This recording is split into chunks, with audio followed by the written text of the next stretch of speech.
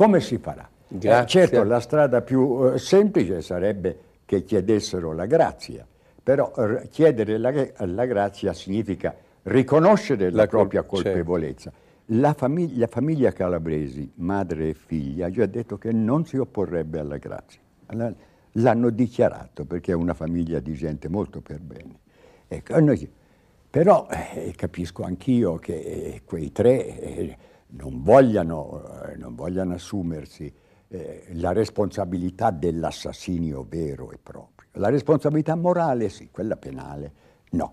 Senta, ma qual è la sua opinione su Leonardo Marini, Marino? Scusi? Ma lo senta, conosce, io non ho opinioni precise, eh, lo conosco di vista perché lui vende le frittelle a bocca di magra, siccome io i miei periodi di riposo... Li trascorre lì vicino. Li, tra, li, trascorro lì vicino, vado spesso a bocca di magra e vedo questo, quest'uomo così molto, molto molto semplice col suo baracchino in cui fri- frigge le frittelle e ha tutta l'aria di essere un poveraccio, però ho raccolto anche, non so quanto fondate, alcune voci che mi dicono che questa è solo la messa in scena, perché eh, poi lui in banca avrebbe un peculio e certo se questo fosse vero eh, insomma ci sarebbe un po' da dubitare del, sul, sull'origine di questa confessione. Ecco, però, ripeto, sono voci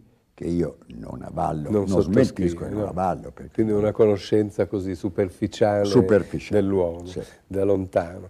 Ma se le stragi... Eh, eh, no, ebbero un'impronta neofascista no, in, in, quel, in, quel, momento. Resta da chiedersi perché quali erano i moventi di eh, spargimenti di sangue così insensati come ci furono in quel momento? Ma senta, come in tutti i processi italiani, anche in questi, che poi si misero, volevano arrivare all'identificazione dei responsabili, non ci arrivarono quasi mai, erano dominati dal cosiddetto teorema. Si partiva dal presupposto, a un certo momento, si smise di parlare degli anarchici, si smise quasi subito di parlare, e tutte le lampadine furono rivolte ai, ai, ai partiti, alle forze di destra, eh, erano quelle le forze stragiste. Quindi noi si partiva dal presupposto, cioè i nostri bravi giudici, salvo alcuni, salvo alcuni, partivano dal presupposto che certamente venivano di lì, venivano dalle destre, dalle destre più violente, alle quali si attribuiva, sempre per teorema, questo, questa idea, creare una tensione nel paese in modo da impaurire gli italiani e metterli alla scelta o la libertà o l'ordine perché insieme non potevano andare. Nella, nella libertà era chiaro che non si poteva mantenere l'ordine e loro dicevano qualunque popolo messo a questa scelta sceglie l'ordine. Ecco, questo, beh, è un teorema, è un teorema che, ha, che ha sempre cercato dimostrazione e non l'hanno trovata mai.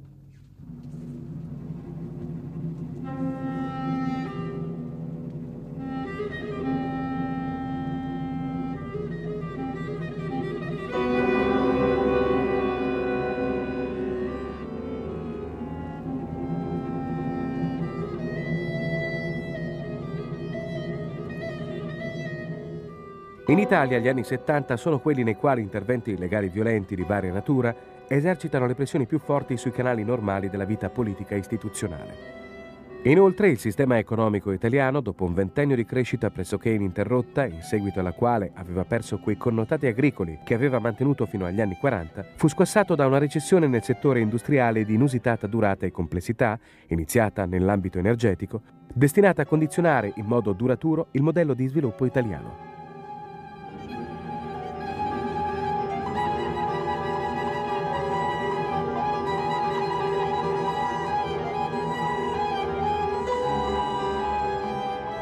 Tra il 1969 e il 1982 si sono avuti 6.153 attentati non rivendicati e 2.712 rivendicati da organizzazioni clandestine, con la conseguenza di 351 morti e 768 feriti.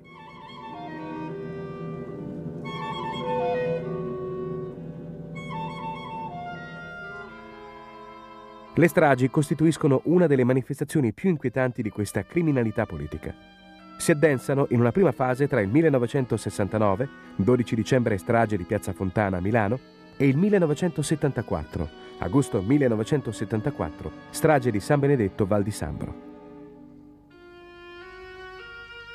Nell'estate 1973 viene svelato il progetto golpista della Rosa dei Venti. A dicembre i soldati restano consegnati nelle caserme della capitale.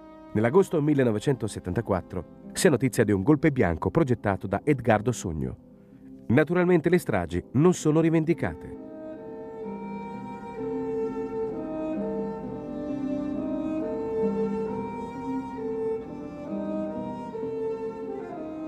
La sequenza della loro successione non può non evocare la presenza di una regia occulta.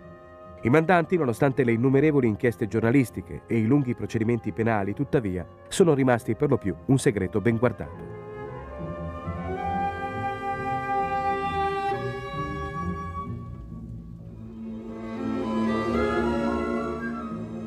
Non, ci sono parole che possono esprimere lo stato d'animo mio, voi lo immaginate, no?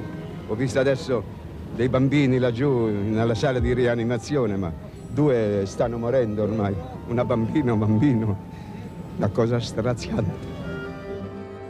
Ma gli italiani come reagivano? Lei che re, lavorava gli italiani in erano in balia di una, diciamo, di una stampa di forze politiche le quali avallavano tutto questo, non so quanto in buona fede, ma insomma... Ma c'erano forti fazioni, tensioni nelle famiglie, nella vita quotidiana? Eh beh, c'erano, sì, c'erano anche queste ma insomma si accettava, il vento che tirava andava in quella direzione e lo dimostrano gli intellettuali, i quali sempre si schierano col vento, col vento che tira.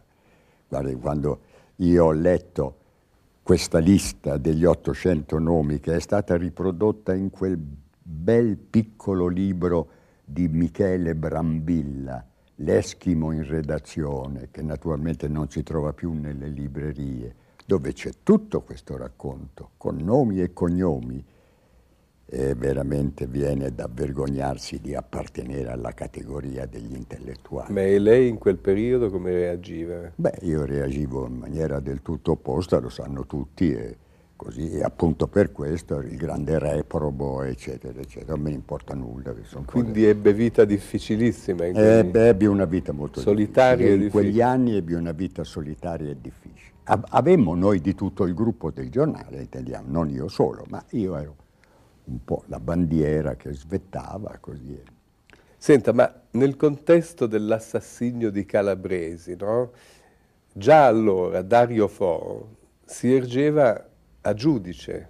Del resto additò Calabresi nelle sue pièce teatrali di allora come il famoso dottor Cavalcioni, il commissario Finestra. Ecco, secondo lei non lo si lasciò fare un po' troppo Dario Fo? No, perché queste cose non si combattono con la censura. La censura le avvalora. La censura implica che il potere ha paura della verità e quindi tappa la bocca alle cose. Queste cose bisogna che si esauriscano da sole perché è piano piano e da che il pubblico si rende conto che quella o è una menzogna o è una forzatura della verità che equivale a una menzogna. Sono sicuro che oggi Fo non rifarebbe quello spettacolo. Si è esaurito da sé. Strage di Stato, strategia della tensione, sono queste le etichette con le quali sono stati catalogati questi avvenimenti terribili di cui abbiamo parlato in questa puntata. Resta ancora da chiedersi allora quali fossero i mandanti, quali le intenzioni, quali i motivi di tanto spargimento di sangue che, considerato al filo di logica, è veramente senza senso. Ma il crimine forse non ha mai senso.